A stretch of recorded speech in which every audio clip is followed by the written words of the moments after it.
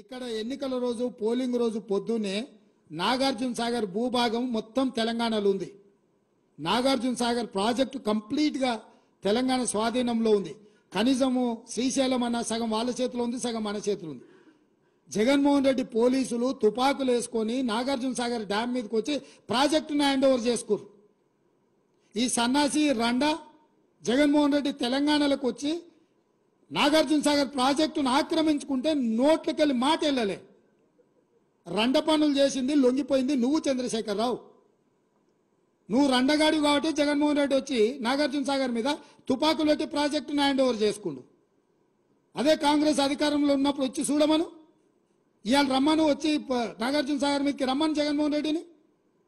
నువ్వు రండగాడివి జగన్మోహన్ రెడ్డికి ప్రాజెక్టును తాకట్టు పెట్టి తుపాకులు తీసుకొని వచ్చి నాగార్జున సాగర్ డ్యామ్ను ఆక్రమించుకుంటే పల్లెత్తు మాట మాట్లాడలేదు. నువ్వు పోయి కేంద్ర ప్రభుత్వానికి ప్రాజెక్టులను హ్యాండ్ ఓవర్ చేయడానికి నిధులను కేటాయించినోడు నువ్వు. నువ్వు వచ్చి మా మమ్మల్ని బదనాం చేస్తావా? మా మీద మాట్లాడతావా? వాస్తవాలు ఇట్లుంటే అబద్ధాలతోని అధికారం కోల్పోయిన నిరాశ నిస్పృహలతోటి ఈరోజు మమ్మల్ని బదనాం చేసే కార్యక్రమం పెట్టాను అందుకే నేను సూటిగా ఈ ఆధారాలు మీ ముందలు చెప్పి మీ ముందల మాట్లాడితే రేవంత్ రెడ్డి సెక్రటేరియట్లో సమావేశం పెట్టి చాలా మాట్లాడిండు. ఆయన కథ ఏంది? ఆయన కమామిస్ ఏంది అని ఆయన మాట్లాడతాడు. అందుకే నేను సూటిగా ఈరోజు మంత్రివర్గ సమావేశం అవుతుంది. అసెంబ్లీ సమావేశాలు ఎప్పటి నుంచి ఉంటాయో సాయంత్రం వరకు మీకు చెప్తాము. అసెంబ్లీ సమావేశాలల్లా వైట్ పేపర్ ప్రాజెక్టుల మీద రిలీజ్ చేస్తాం. ప్రాజెక్టుల హ్యాండ్ ఓవర్ మీద చర్చ పెడతాం. నలభై ఎనిమిది గంటలు నువ్వు కోరుకుంటే ఇంకెక్కువ కావాలన్నా తలుపులు మూద్దాం. భోజనాలు అక్కడనే పెడతాం. బట్టలు తెచ్చుకో. మేము వస్తాం. మామ అల్లుడు మీరు ఇద్దరు రాండి.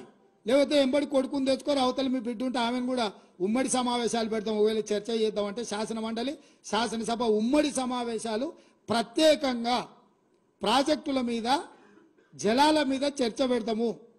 మాకెవ్వరు లేరు. నేను మా ఉత్తమ్ కుమార్ రెడ్డి గారు ఇద్దరమే మాట్లాడతాం. సంబంధిత శాఖ మంత్రిగా వారు మాట్లాడతారు. ముఖ్యమంత్రిగా నేను మాట్లాడతా. చంద్రశేఖరరావు హరీష్ రావు తారక రామారావు కవితారావు. నలుగురు మీరు ఒకరి తర్వాత ఒకరు అలచిపోకుంటే ఎంతసేపు అయినా మాట్లాడదాం చర్చ చేద్దాం. నీకు చిత్తశుద్ధి ఉంటే నీకు నిజాయితీ ఉంటే ఈ చర్చలకు రాకుండా ముఖం చాటేయకు చంద్రశేఖరరావు.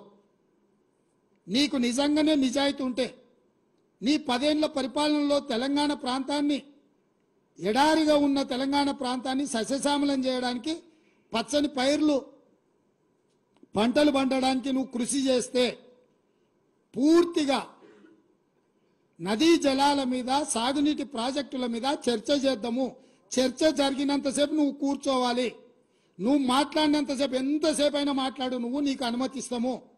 నిన్ను అభ్యంతర పెట్టము. నువ్వు నీ అల్లుడు ఎందుకంటే ఐదేళ్ళు ఆయన మంత్రి ఐదేళ్ళు ఈయన మంత్రి సాగునీటి ప్రాజెక్టు. ఐదేళ్ళు ఈయన ముఖ్యమంత్రి పదేళ్ళు ఈయన ముఖ్యమంత్రి ఐదేళ్ళు ఆయన ఆర్థిక మంత్రి. వ్యవహారం అంతా మామాల్లుల మధ్యలోనే జరిగింది. మీకు పూర్తిగా అవకాశం ఇస్తాం. ఒక్క నిమిషం కూడా నీ మైక్ కట్ చేయం చంద్రశేఖర్ రావు రా. ప్రతి డాక్యుమెంట్ తీసుకొని నేను మా మంత్రివర్యులు ఉత్తమ్ కుమార్ రెడ్డి గారు మేము మాట్లాడతాం. వాస్తవాలను ప్రజలకు చెప్దాం. ఎవడు ద్రోహి ఎవడు దొంగ ఎవడు లొంగిండు ఎవడు వంగిండు ఎవడు ప్రాజెక్టులను తాకట్టు పెట్టిండు ఎవడు ముఖ్యమంత్రి ఉన్నప్పుడు ఈ తెలంగాణకు అత్యంత ద్రోహం జరిగింది.